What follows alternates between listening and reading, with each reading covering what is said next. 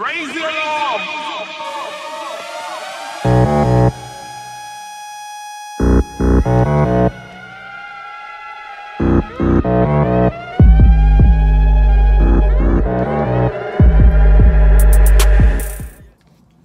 Hello, everyone, and welcome to 2019. Uh, it's great to be back. I've I've got a few videos lined up, ready to go, but I I wanted to uh, I wanted to talk about a new series of videos that I, I wanted to do, which uh, I'm going to start with doing this one.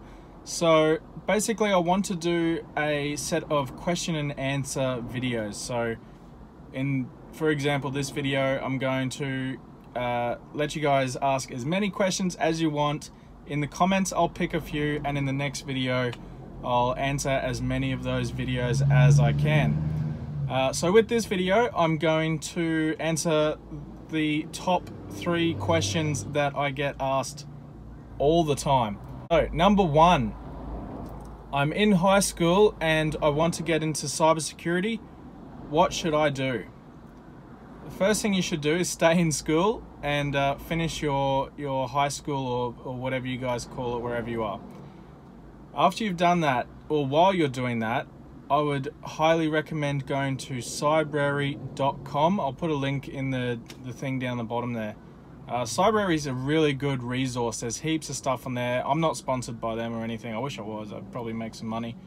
And um, yeah, it's there's a lot of really useful information. There's a lot of free courses. There's there's heaps of shit you can do on there. So definitely go to cybrary.com.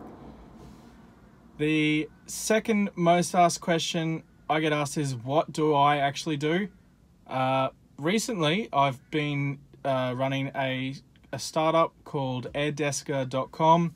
Um, I'm also one of the directors of a company called DataSec, and I also uh, contract myself out to mostly governments uh, or local governments, state governments, etc., around uh, Australia.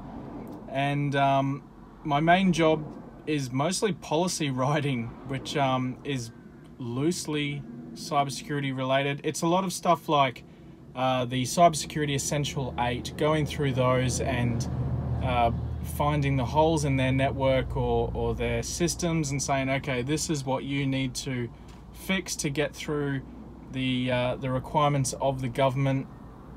And um, yeah, if you want me to do it, I can do it, or if you want to go and find someone else to do it, that's fine.